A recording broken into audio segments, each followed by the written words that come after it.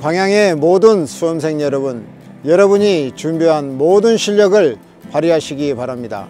지금까지 갈고 닦은 실력을 차분하게 풀어낸다면 좋은 결과가 나올 것이라 확신합니다. 아울러 자녀를 위해 애쓰신 모든 부모님 수고하셨습니다. 함께 애쓰셨던 만큼 마지막까지 함께 응원하겠습니다. 수험생 여러분, 화이팅!